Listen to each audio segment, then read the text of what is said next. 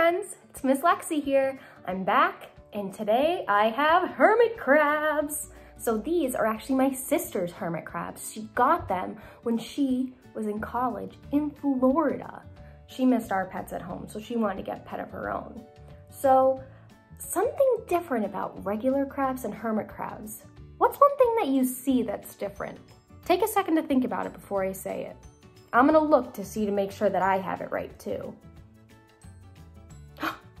I think I got it, do you? It's that they have a shell that's different from the other ones. The animal that also has a shell like this is a snail. So as hermit crabs get bigger, they need to get a bigger shell too. So as they get older, they have to find a new shell, wherever that is. So sometimes they get a shell, a shell that fits just right, or they find one that's a little big, but they have to still carry it around, so it has to fit a little bit. I didn't think this one was gonna come out. This guy's name is Wormy because he has a worm on his back. And his name is Crabby because he's a crab. and my sister has another one. His name is Hermy because he's a hermit crab. Um, but he's doing something called molting. And that is when a hermit crab is losing a layer of their skin to get a new bright colorful one. Another animal that does this is a snake. And, but one gross thing that they do is they actually eat it because there's a lot of vitamins in there that can make them be healthy, but it's sort of icky. So another really cool fact about hermit crabs is you'd think that since they're little, they don't probably live a long time, right? They actually live 12 to 70 years. Can you believe that? That's such a long time. That can be almost as long as we live. That's crazy. But another cool thing about them is that they're social animals. That means that they like to live with other animals, whether it's hermit crabs or something else. They love to live together because they don't want to be lonely. So if you were to ever get a hermit crab, you have to have at least two or three. Otherwise, they get really, really sad. So hermit crabs, they might be a little scary where you don't want to pick them up, right? But you can actually pick them up. At first, I was a little nervous, but now I'm not anymore because I just know to be careful with them. You have to be quiet and very patient and just let them walk around. And see, that's what he's doing. He's investigating. Because how would you feel if something really big picked you up and put you in its hand? You would be pretty scared too, right? So sometimes he just holds on to my finger or holds on to my hand. And I used to think that was him trying to hurt me, but it wasn't. He was just holding on because he was scared. So we're gonna let him run around for a little bit. It's sort of cool to see him walk, right? So as he's running away, he's probably gonna go try to hide under this towel because hermit crabs love to hide, just like Hedgie. Because they're very small animals, they like to feel safe. Oh, is Wormy gonna move too? Oh, I think he's going. Oh, I think he got scared. So in their tank that they have here, they have a really nice house that they can hide under so they feel safe. And that's really important for them to have because otherwise how are they gonna feel safe in their home? And we all wanna feel safe in our home, right? So just like Hedgie, hermit crabs have to live in a certain temperature. And you wouldn't think that they have to because they're crabs, they can probably stay warm but they have to say between 70 and 75 degrees, which is pretty warm, just like the summer. But if not, I'm gonna have to call the vet and I'm gonna be in trouble because they're gonna be shivering really bad. And another important thing about where they live is that it has to be sort of wet in the air, which that's called moist. And if not, they can't really breathe very well. So my sister has to go into the tank and spray it with water 10 times a day. Isn't that crazy? But if she doesn't spray it, she can also use something called a humidifier, which sprays water into the air. And right now, that's what they have, so that way they're always getting water in the air for them.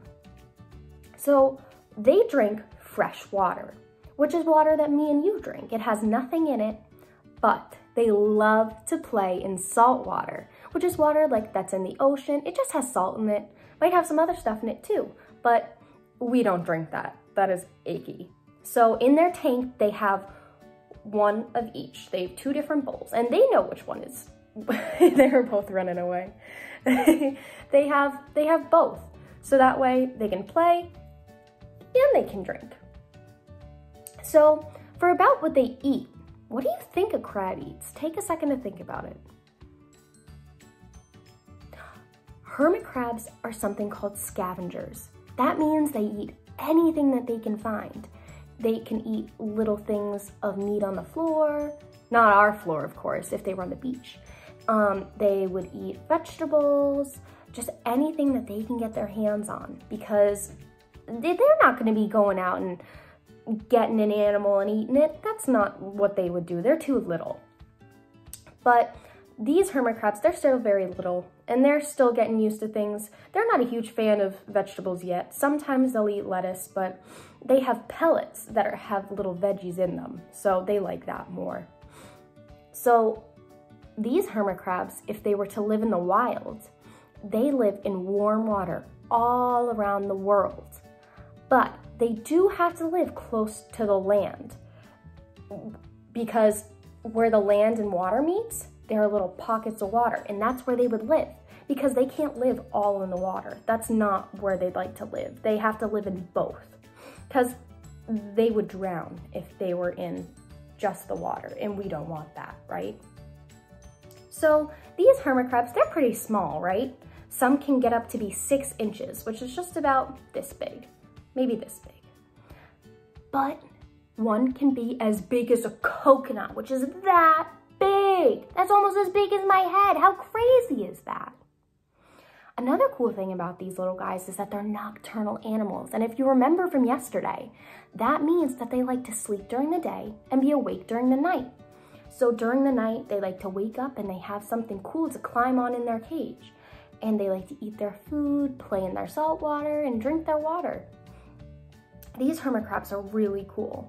I'm gonna pick him up and I'm gonna show you him a little bit closer so you can observe him.